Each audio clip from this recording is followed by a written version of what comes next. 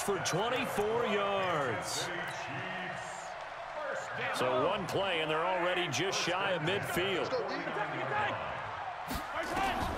From the gun, it's Mahomes.